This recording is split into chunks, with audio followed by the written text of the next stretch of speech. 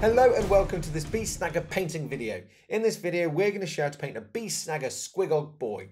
Now I'll be using both a mix of classic and contrast methods and we'll be painting the model up to battle ready as well. Now before we begin painting, the first thing we'll need to do is undercoat the model. As you can see here, I've used Mechanicus Standard Grey, which is a nice starting point for all the colours we'll be applying. Now I'm going to start first by picking out the actual squig body by using Mephiston Red. Then for its underbelly, we'll use Morghast Bone. Then for any orc skin, we'll be using Orruk Flesh. And then for leather straps and the saddle, we'll use a bit of Thondia Brown. But first of all, let's start with Mephiston Red. So I'm just going to get myself a medium base brush. Just apply a little bit of Mephiston Red to the palette, a little bit of water. We always like to thin down our base coats because applying it too thickly can actually make it look a bit streaky. So all I'm going to do is just load up my brush and then we're ready to start applying it to that squig skin. Again, you might want to do a second coat just so there's no grey showing through. Take your time, work your way around. And don't worry if you get any red on other details because we can always tidy that back up later by applying other colours.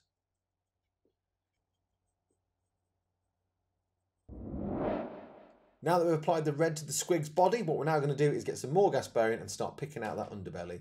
So I'm just going to start quite strong at the very bottom of his belly and then just do like some little streaks upwards like so, just to make it feel a little bit more blended in. Again, you might want to do a couple of coats of this. With the underbelly now picked out, what we're now going to do is start picking out the orc skin with Orruk Flesh. Again, you might want to apply a couple of coats of this as well.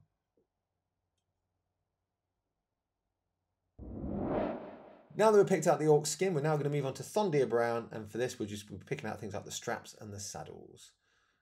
Again, might want to do a few coats of this. Take your time. And if you do splodge on like things like the red and the green, just reapply those base coats.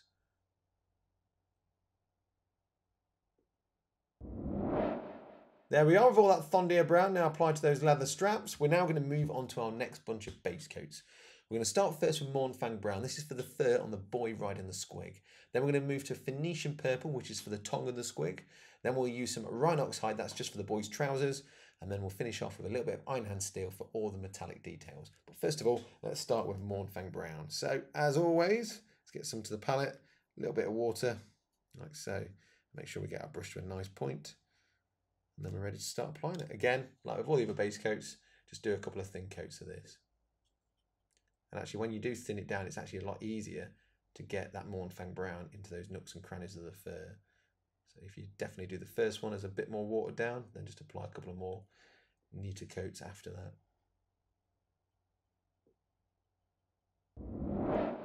Now that we've base coated the fur, what we're now going to do is get some Phoenician purple and pick out that tongue. And just take your time. You'll need to do a second coat as well.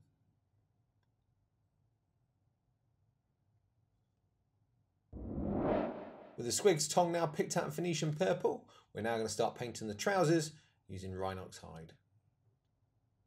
Again, always apply a second coat if you need to.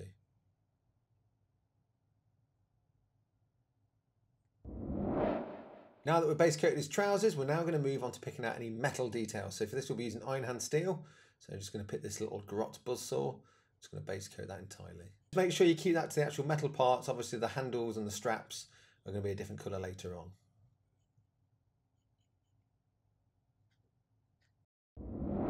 With all those metallic details now picked out, we're now going to move on to applying the remaining base coats. We'll start first with Corvus Black. This is for the black boots as well as the claws on the models. Then we're going to use Corax White to pick up all the armour panels. After that, we'll use Gal Vorbak Red for some details on the armour panels, as well as the limbs of the squig and its gums as well. Then we'll use Rakarth Flesh just to pick out all the teeth, as well as the straps on those weapons they're wielding. And then we'll be finishing off with some Averland Sunset for the eyes. You can also use this on some of the armour panels on other Bee Snagger models as well. But first of all, let's start with Corvus Black. So all I'm going to do, as I always do, is get a little bit on the palette, like that, and a little bit of water as well. Sure uh, get the brush to a nice point. To start off with the boots, then move to the claws after. So all we're going to do is just get that model, start base coating those boots. Say you've got a couple of claws here, and of course the actual hooves or claws, if you like, of the squig. When you do get around to doing the claws, you might just want to get yourself either a slightly smaller brush or just make sure you maintain a nice point to your brush.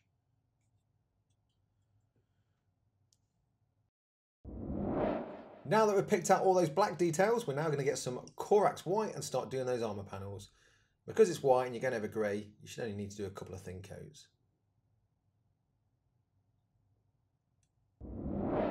And as you can see, I've picked out all those armor panels with Corax white. I've also picked out a couple of the bombs on his spear as well. So what we're now going to do is going to move on to Gal Vorbak red. So we're going to use this just for the lower parts of the actual squig's legs, just to make it a little bit darker like it looks on the box art. But also some of the little dags and teeth some of the glyphs, we're going to pick those out as well. So take your time, work your way around. Especially when painting on the white, you might want to do a couple of coats of that as well. With those legs and armour panels now picked out in Gal Vorbak red, you'll also notice I've picked out the gums on the orcs and the squig as well. what we're now going to do is move on to using Rakarth flesh. So all I'm going to do now is start picking out the teeth. So that's on all the models and the straps as well on the weapons. Now that we've applied the Rakarth flesh, what we're now going to do is move on to picking the eyes, and for this we'll be using Averland Sunset. Take your time, make sure you've got a nice point to your brush. And just slowly pick out those eyeballs. Just going to spin around and do the other one. And if you do make any mistakes near the eyeball, just get some Mephiston red and tidy back up.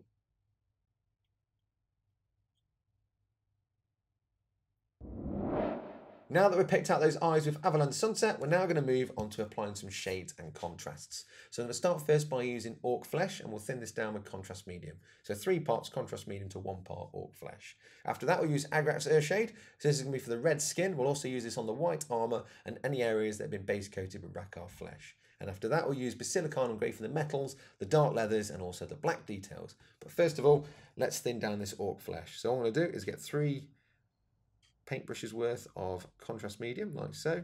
Give my brush a quick wash and a wipe, and then one paintbrush of Ork Flesh. And then just mix it together, make it a little bit more thin down, so it's not too neat from the pot. And then once we're happy with that, just get our brush to a decent point, and then we're ready to start picking out that skin. So I'm just going to start on the little grot at the back. Take my time. Be mindful around all the details you painted as well.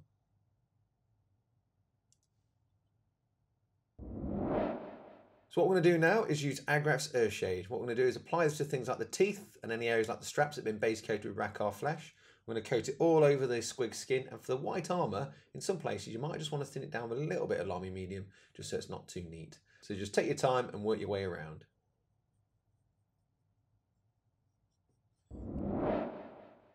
Now that the Agrax Earthshade's dry, what we're now going to do is get Basilicanum Grey and we're going to apply this to the dark brown leathers, the black leathers and any metal details. Again, take your time and work your way around.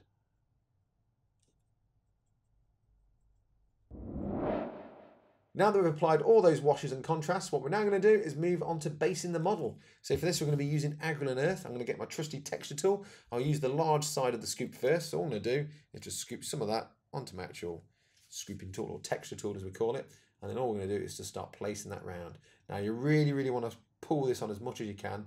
Keep applying it on quite thickly keep using that texture tool, keep applying on. When you get closer to the feet, all I'm going to suggest doing is just get the smaller side and just push it closer. Just keep adding that texture paint on. Now remember you want to leave this for around about an hour to dry and once it's dry paint the rim of the base in the colour scheme that matches your army. For this one we're using Steel Legion Drab.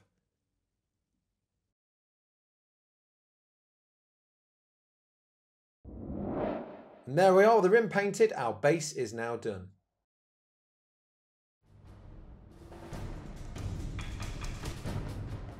With the texture now dry and the rim of the base painted, our Beast Snagga Squig Hog Boy is now battle ready.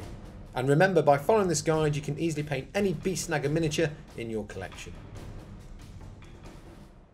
Now there's a couple of things to remember when painting this model. Firstly, when using base paints, try and be as neat as you can. Remember, the neater you are, the better the end result. And if you do make any mistakes, you can always tidy back up with paints at a later point. Also, when using shades and contrasts, try not to overload your brush as it can quickly run out of control. If you do find that happening, just use your brush to soak up any excess. Well, I hope you've enjoyed this video. I hope you enjoyed painting your own Beast Snaggas, and we'll see you again soon.